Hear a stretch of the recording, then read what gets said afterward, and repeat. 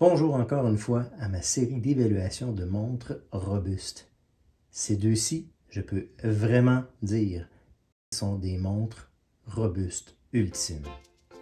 Moi, c'est François et c'est Time to Watch.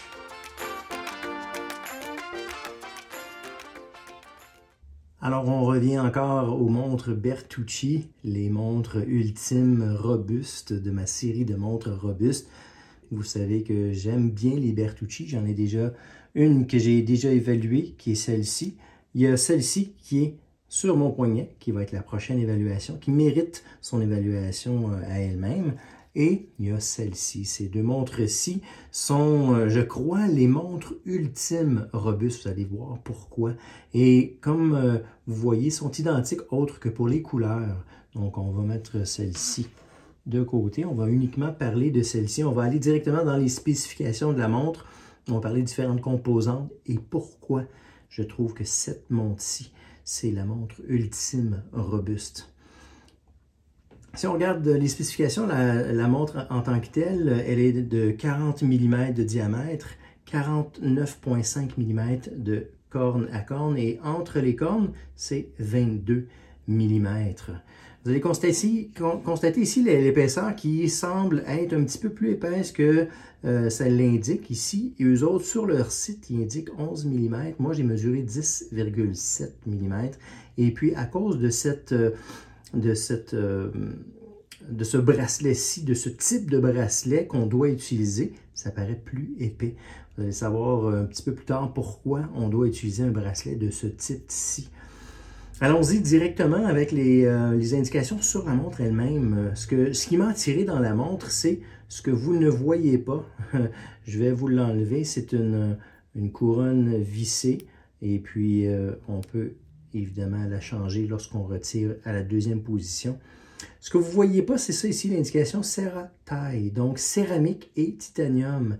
C'est une montre avec un boîtier en titanium, en titane, et il y a un enduit de céramique dessus. Donc, ça aide au niveau de la corrosion, euh, ça aide aussi au niveau des produits chimiques, ça empêche évidemment les produits chimiques d'affecter la montre et aussi au niveau de l'abrasion et des impacts sur la montre en tant que telle. Ça, c'est une des raisons principales. L'autre composante, c'est que, vous le voyez ici, c'est euh, il y a un code, un code de, produit, disons, c'est un mouvement suisse au quartz. Si je pèse sur la couronne, vous voyez l'aiguille des secondes fonctionne. Donc, c'est un mouvement qui est euh, très solide, euh, contrairement à une, montre automatique qui peut avoir une influence au niveau des impacts. Donc, ça, c'est une autre des composantes qui fait que c'est une montre ultra robuste. Et puis, vous voyez ici, c'est les 100 mètres de résistance à l'eau c'est aidé par la couronne vissée et aussi il y a un cristal de saphir sur le dessus. Donc, c'est euh, ultra résistant aux égratignures et aussi c'est un peu euh, abaissé. Donc, on voit ici la loupe qui protège le, cristal de saphir en même temps. Donc, une autre façon de faire en sorte que la montre va rester telle qu'elle. Comme vous voyez, l'enduit, elle n'est presque pas usée. Euh, parce que c'est une montre que j'utilise très souvent. Il y a quelques marques d'usure que vous allez voir ici sur les pourtours, mais sans plus. C'est une montre qui est relativement, qui a l'air relativement neuve. Donc, euh, le mouvement, comme je vous ai dit, c'est un mouvement avec une couronne signée et vissée. Et puis, en tirant sur la, à la deuxième position, ça arrête les secondes et on peut ajuster la montre. Mais lorsque on l'a dévisser, cette position-ci a une position fantôme. Donc, elle n'a pas de date, mais elle a une position pour la date. L'expérience pour euh, le, vissage est très, très bien. Ça, ça, accroche dès le premier coup et ça se visse très bien. C'est très souple. Et puis, on assure les 100 mètres de dénivelé. Les 100 mètres de résistance à l'eau, je devrais dire. Si on parle du bracelet en tant que tel, je vous avais mentionné qu'on doit utiliser un bracelet qui a cette configuration-ci. Je vais vous le montrer immédiatement. Alors, c'est un bracelet en nylon avec les coutures très, très, très euh, robustes. Une autre composante qui fait que c'est une montre très robuste qui tient le coup. Et vous allez constater qu'on doit le passer ici parce que ce sont des barres de rétention qui sont fixes. sont fixes, sont intégrés au boîtier. Donc, c'est un, un, boîtier uniquement en un morceau de titane. Vous allez voir ici aussi le dos du boîtier, c'est un, dos vissé. Et puis, ça assure les 100 mètres de résistance à l'eau. C'est euh, serre-à-taille, donc euh, pareil comme ce qui était inscrit sur le cadran en avant, c'est inscrit sur l'arrière ici. Et il y a une patente au, US pour ce boîtier-ci. Euh, je ne me rappelle pas d'avoir déjà vu des montres qui ont des boîtiers avec les, les, les barres de rétention intégrées.